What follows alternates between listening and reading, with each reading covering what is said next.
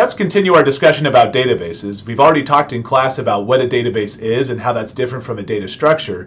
But today I'd like to focus more on why you would want to use a database and how you would use a database. So first, let's discuss the why. Um, of course, the biggest reason is that we have lots and lots and lots of data that we want to store and manage, and we need an efficient way of doing that. Uh, databases allow us to do that. It's also nice to be able to organize all this information and to give structure to it so we can make sense of it, and that's what a schema is for. And finally, um, it's nice to be able to extract the information out of data that we want to make sense of. And so having the ability to query the data or ask questions about the data is a huge selling point for using a database system. Um, I think one of the most important topics as you read through the chapter this week is check out page 408 where it talks about data independence. The ability to change or reorganize a database without having to go and change all the applications built on top of that is a huge selling point for using a database system over just regular files.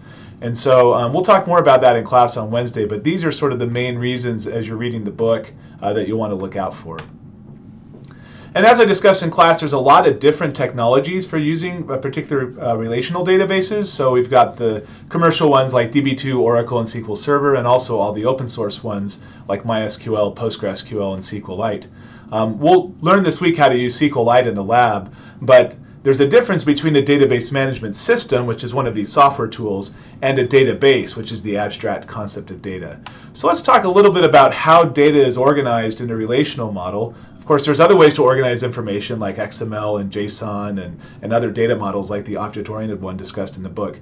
But uh, by and large, the focus this week will be on the relational model. So here I have a table or a relation, uh, more formally speaking, um, of a few movies. So we've got Gone with the Wind and what year it was out, how long it is in minutes, and the genre. And something to note is that the structure of relational data is relations, or in other words, tables. And the columns define the roles that all the individual pieces of data play. Um, it also has a bunch of operations that we'll learn this week. Uh, there's an entire algebra for this, so operations like selecting, projecting, and joining data, and we'll define those um, here in a minute. And also, the relational model allows us to add constraints to a database, such as, okay, the genre of a film must be action, comedy, drama, and so forth. We can just give a set of terms that applies to that column. Or you can say things like, no two movies can have the same title and year. Um, that's called a key constraint um, in terms of database theory. And just being able to constrain the values of rows and columns within this table gives a lot of flexibility for having a consistent database. Um, before we jump into the actual operations, let me just say a note on terminology. A, a lot of terms in databases and other fields of computer science um, find their roots in mathematics. So in particular, when you study set theory in discrete math, like in CS 227 at JMU, uh, you'll learn terms like relation, attribute, tuple, and, and the layman terms for these uh, words are like table, column, and row. So I might use those terms interchangeably, and you should just sort of memorize, at least put in your mind, that, okay, the table's relation, the columns and attributes, the rows a tuple, and so forth.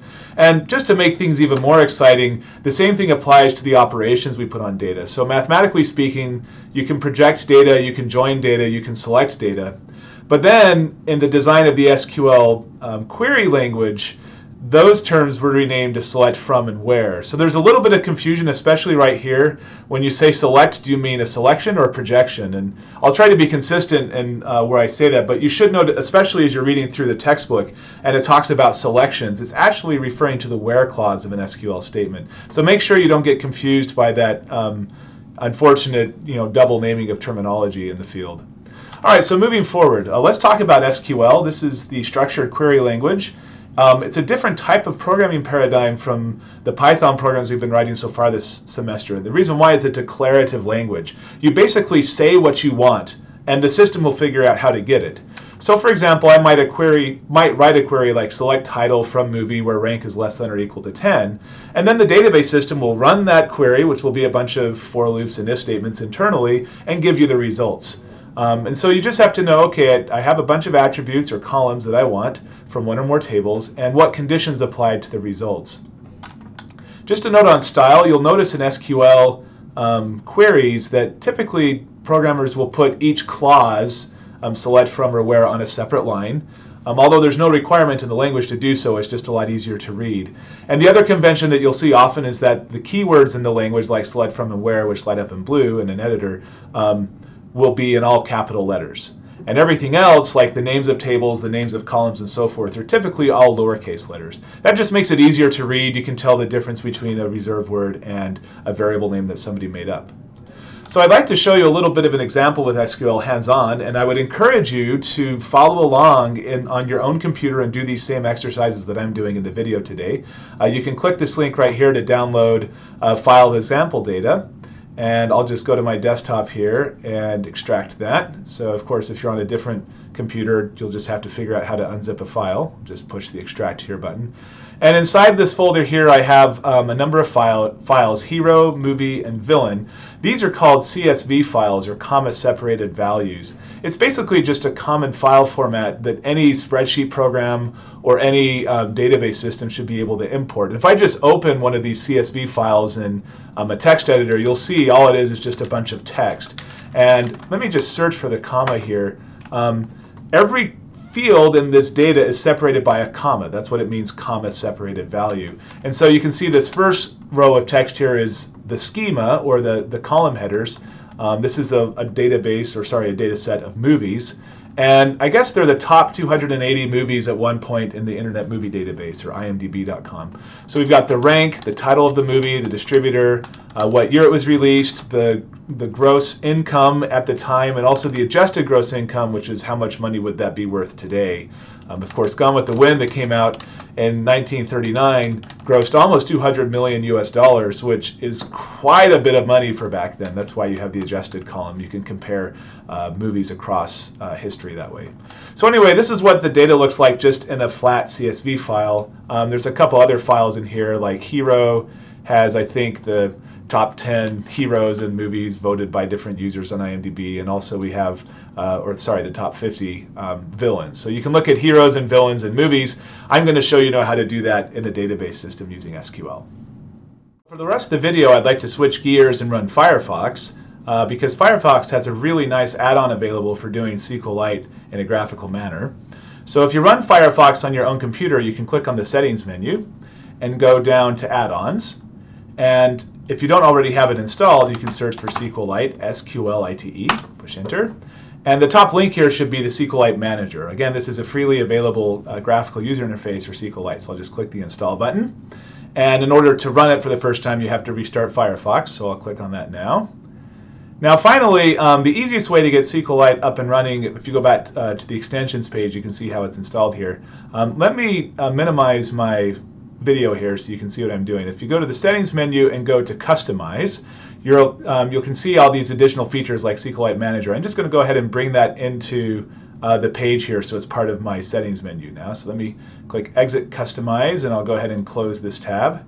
So now I'm back to the start page. And now if you go to, uh, by the way, this icon is called a hamburger icon because you've got, uh, you know, a bread and meat and bread. I, anyway, it's a dumb geek joke here, but that's literally the technical term for the settings icon. So let me, anyway, let me go into the SQLite Manager, and that will open up a new window now. So let me go ahead and make this window um, the size of my screen here, and now you're able to browse all the SQLite databases that come with Firefox. That will be part of the lab on Friday. But what I'd like to do today is show you how to create a new database. So there's a bunch of menus here that you can explore to see what all these things do. Um, we're just going to make a new database. And by default, when you do that, it asks you for a file to store the database in. Uh, because this is just a demonstration, I'm going to create a new in-memory database. And that way I can just skip the step of having to save the file on my disk. So I'll make a new in-memory database. And now I'm going to go uh, to the import feature under the database menu, and I'm going to import those files that I downloaded previously uh, with the movies data. Okay, and so we'll bring up the import wizard. I'll go ahead and select a file, and oh, they're right here under my recently used, so I'll go ahead and open up uh, the movie file first. And you'll notice here um, it automatically says, okay, this is a CSV file. The name of the file is, or the name of the table will be movie.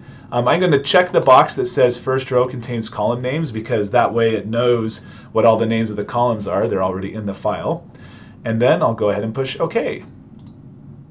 After pressing OK, you get this little message here, do you want to modify the table? And that gives you an opportunity to take a look at the columns that it detected from the CSV file and specify the data type for each column. Um, if you want to be able to write queries over the, the data type, you have to add this structure, this, this schema. So I'm going to say rank is an integer, title is text, distributor or the movie company is text. Uh, the year is also an integer. And the gross and adjusted gross income are um, numeric values. I'll just pick double because that's the default uh, data type for doing a, you know, a floating point number that isn't just an integer. So let me go ahead and just say OK on that. And it says, are you sure you want to do this? Import 280 records imported. Uh, while I'm here on the import screen, let me go ahead and grab those other two databases uh, that I mentioned earlier, or rather the other two tables. So I'll go here to select file. Uh, we'll do hero first, push OK. And do you want to modify? Yes. Okay, so the ID is an integer. Hero is text, actor is text, and film is also text. All right. And it says, um, are you sure you want to do this? Yes. Okay. And then we go ahead and select villain. Um, again, on all these, make sure that the box here is checked. First row contains column names. Um, I'll push OK on that. Yep, let's take a look. ID is an integer, villain's text, actor is text, and film is text. And are you sure you want to do this? Okay. So I guess it's pretty easy to import some CSV data. Um, now the interesting thing is we can start using this tool on it. So if I go here to uh, the structure tab, um, all these tabs are how you're going to uh, interact with the data. So the structure tab shows you, not surprisingly, the structure, or in other words, the schema of the data. And as I click through the different tables, you can see um, what all information it has internally stored about uh, the schema. It also shows you the create table statement, which is uh, the SQL syntax for creating this type of table in another database system. Let me go here to Browse and Search. Now this tab allows you to just see the contents of those uh, tables quickly. And the different colors show you the different data types. So for example, green is integer and, and cyan here is um, text and the darker green is the floating point um, number instead of an integer or a double as I specified it. Um, and so that's just a quick way to see what all data is there.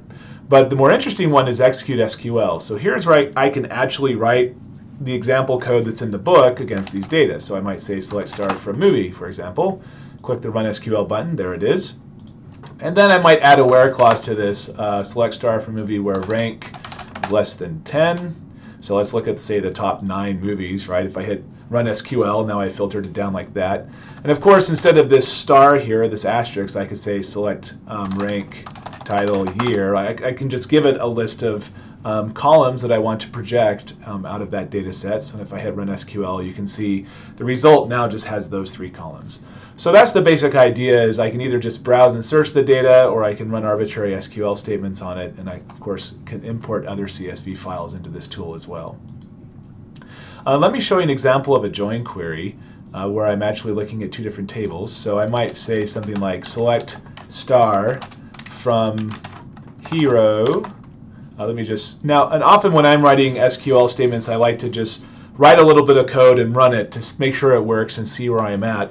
Um, that's a general principle actually in programming is, is never go write a whole bunch of code before you test it, compile it, see what's happening. It's easy to get lost and, and not know how to fix it at that point. So here I have the heroes table and of course it just has four columns. It shows me the hero name, the actor's name, like Harrison Ford was Han Solo for example. Um, he was also Indiana Jones, for example. And let me actually change this uh, to villain now, V-I-L-A-I-N. And so you can see in the villains database, I've got, you know, some, I'm not sure I know all of these. I haven't seen all these movies, but you'll probably recognize, oh, yeah, I know The Wicked Witch of the West, for example. That's a, a classic. All right, now look what happens if I say hero, comma, villain in the result. Um, this is called a cross product. It's basically going to create, notice how there's two, uh, 2,500 rows that were returned. It basically took every row in the first table and lined it up with every single row in the second table. So here I've got hero Atticus Finch, and he's with every single villain now in the other table. And, and you can scroll through the results and see that uh, Cartesian product or that cross product. What you really want to do in order to get a join, now the joins that are discussed in the textbook always have these conditions, right? So I might say something like hero.film is the same as the villain.film.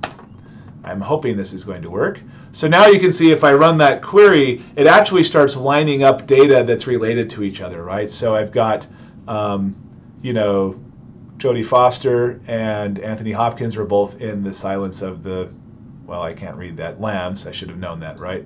Or you know in batman we've got batman is the hero and the joker is the villain right? So often you know if, if you forget to put a condition on that um, from clause right if you don't have something in your where clause that actually links the data up together it's going to assume there is no condition and all the data matches up with all the data. So we'll explore some more of that um, on friday in the lab but I, I wanted to at least put this tool in your hands so you can play around with these sample databases and also try to make sense out of what you're reading in the textbook with the relational operators operations. So with that, we'll see you tomorrow in class, and um, let me know if you have any questions.